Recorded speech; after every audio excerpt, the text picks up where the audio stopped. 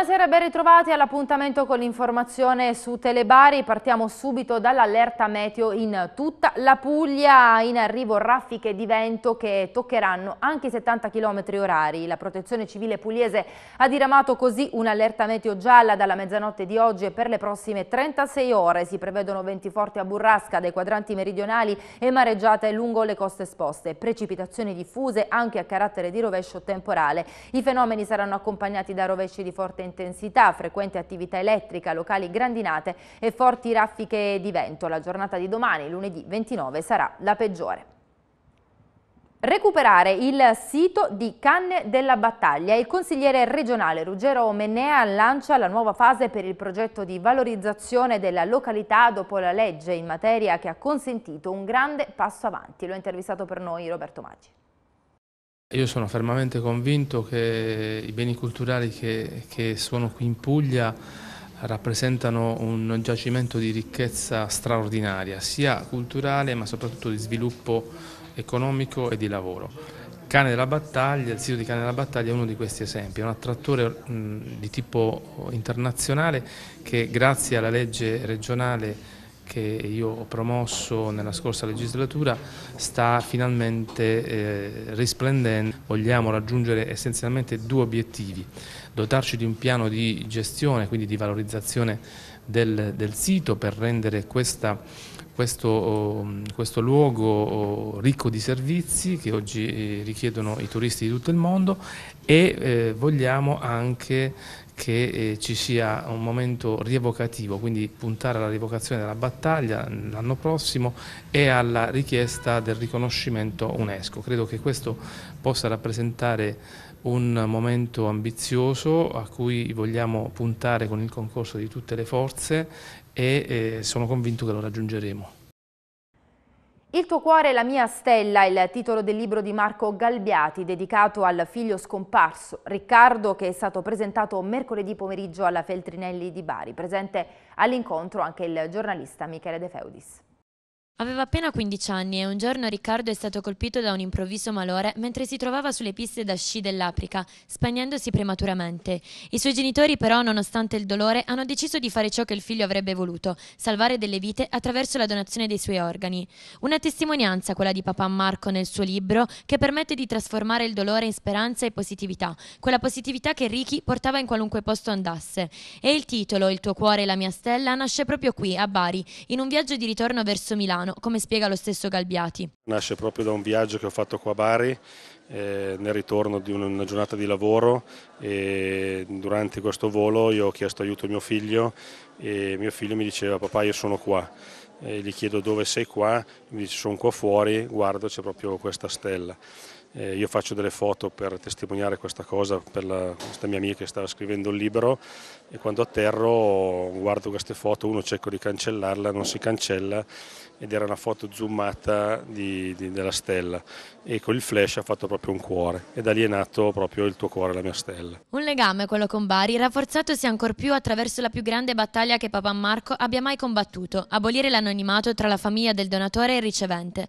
Voglio far conoscere Ricky e raccontare di lui a quelle persone che hanno ricevuto una sua parte ed è proprio Maurizio, ragazzo di Bari, che racconta per la prima volta di Ricky, tra l'emozione del primo incontro e la consapevolezza che la sua lotta è bandiera di tante famiglie che insieme a lui stanno vincendo. La bioetica, eh, che ha, è stato chiesto un parere da parte del Centro Nazionale dei Trapianti, ha dato il mio appoggio, quindi ha appoggiato la mia petizione sulla modifica della legge e, e quindi devo dire molto importante. Io venerdì scorso ero a Roma col direttore Nanni Costa del Centro Trapianti che mi ha incaricato e mi dà tutto il suo appoggio per modificare questa legge.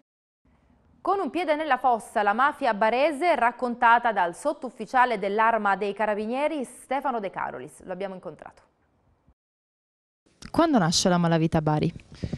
E stando appunto al, al mio studio eh, documentale presso l'Archivio di Stato, ho potuto accertare che comunque la malavita a Bari nasce mh, nella seconda metà dell'Ottocento, già dal 1870. Di sicuro come, diciamo, come associazione di stampo camorristico, in effetti eh, i camorristi baresi di fatto eh, si erano appunto eh, affiliati alla camorra napoletana.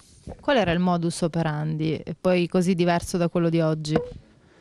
Ma um, il modus operandi direi che è rimasto stesso, quindi stessa efferatezza, stessa arroganza, ehm, è chiaro che praticamente i, i fini, diciamo, diciamo di, di, le fonti di guadagno erano diverse, comunque c'erano le estorsioni, i furti, addirittura le spaccate, le spaccate ai negozi, tabaccherie e negozi di abbigliamento, fatte addirittura con i traini. Ma quali sono gli aspetti che sono venuti alla luce dagli studi che lei ha intrapreso eh, rispetto ai quali non aveva assolutamente contezza prima?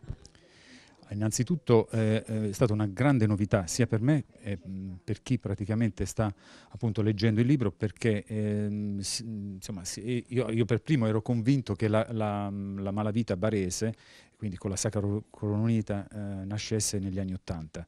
Invece eh, è venuto fuori invece un, un, diciamo, un aspetto diverso, più preoccupante e, e più radicato, sin diciamo, cent'anni prima di quello che si sapeva. Una settimana di musica per le strade e i locali della città. È partita Bari Music Week dal 27 ottobre al 2 novembre. Incontri, workshop, mostre, concerti, live set e DJ set nazionali e internazionali. Sette giorni di iniziative in diversi luoghi della città, dal Castello Svevo all'Officina delle Esordi, dal Fortino Sant'Antonio all'Università degli Studi di Bari. Arriveranno in città i più grandi nomi della musica contemporanea con uno sguardo particolare a quella elettronica. Bari Music Week è un'idea di The Flame ed è organizzata organizzata dall'Associazione dei Supporters con il sostegno di Polo Museale di Bari, Regione Puglia, Comune di Bari, Università degli Studi Aldo Moro di Bari e alcuni sponsor privati. Un giallo da svelare nella notte di Halloween a Terra Nobile va in scena una cena con delitto ispirata a un fatto di cronaca realmente accaduto a Chicago nel 1933, ovvero l'omicidio di un noto boss rimasto però irrisolto e passato alla storia come l'enigma di Chicago. Ad animare la serata gli attori di The Bang Club che si muoveranno tra i tavoli tra una portata e l'altra facendo immergere il pubblico in un'atmosfera anni 30. Tra interrogatori e prove si potrà arrivare alla conclusione del giallo vincendo il premio che solo un detective perspicace merita. Appuntamento dunque con Enigma 33 mercoledì 31 ottobre alle 21 a Terra Nobile Meta Resort. Tutti i dettagli sulla pagina Facebook dell'evento. E siamo alla pagina sportiva, il Bari ospita in casa il Locri per la settima giornata di campionato di Serie D. Vediamo allora com'è andata.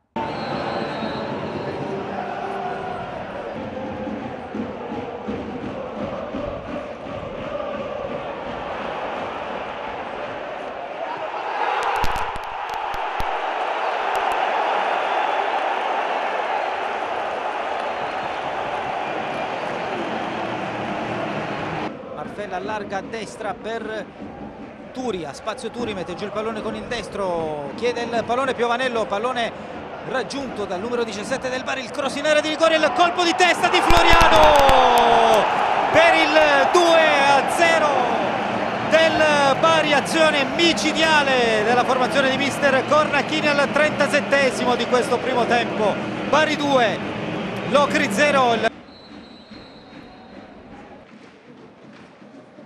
La formazione di mister Scorrano quando mancano ormai 20 secondi alla fine di questa gara.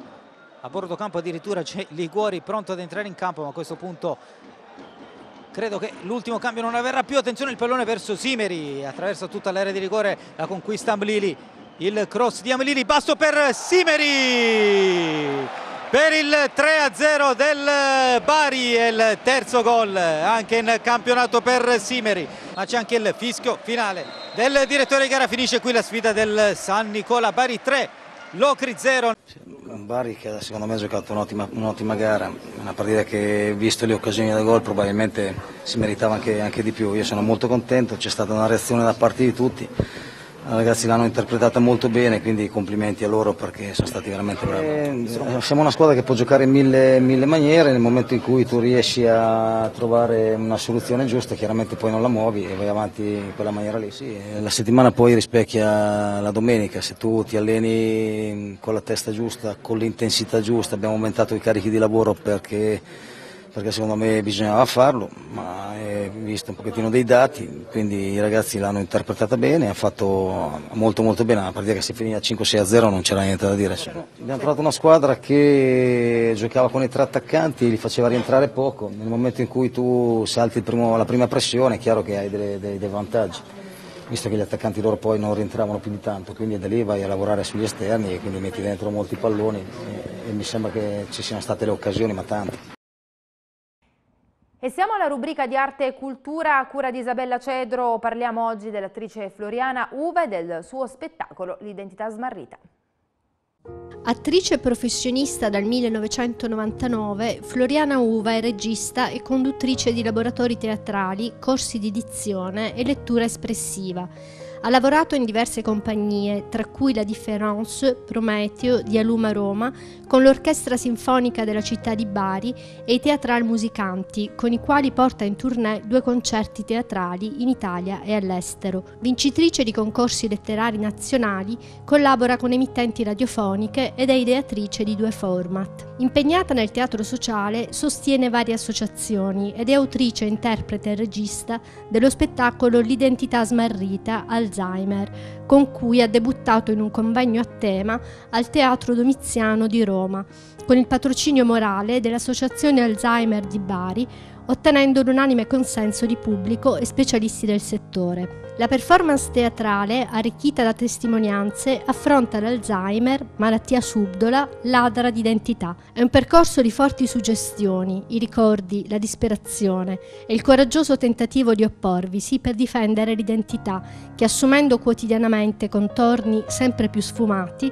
è ancora oggi destinata a perdersi definitivamente. Il progetto parte da una intuizione, da una necessità quello cioè di entrare un po' nel, um, nel problema dell'Alzheimer.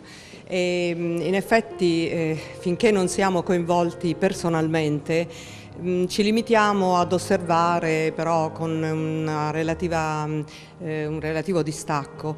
Quando siamo colpiti, e nel mio caso eh, non ho difficoltà a dirlo, ho avuto mio padre che ha attraversato questa esperienza e noi insieme a lui.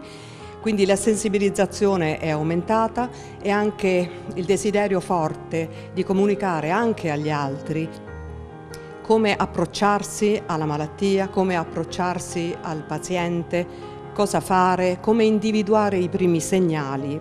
Per questo è nata questa eh, performance teatrale, io la definisco così perché non si può spettacolarizzare una malattia, la malattia di Alzheimer è una malattia neurodegenerativa e noi siamo soliti dire che quando una malattia arriva in una casa è come un uragano che spazza via tutto.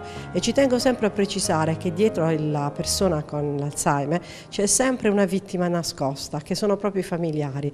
E su questo punto che noi come Associazione Alzheimer Bari eh, lottiamo perché sia fatta una diagnosi precoce e quindi che i familiari sappiano riconoscere i primi segnali ma la cosa più importante è anche che i familiari siano informati e tra virgolette educati, ciò che noi cerchiamo di fare nella sede dell'Associazione Alzheimer. Le istituzioni ancora non si sono organizzate per un piano eh, che possa andare bene per eh, affrontare e seguire la persona con demenza dal momento della diagnosi fino alla fine dei suoi giorni.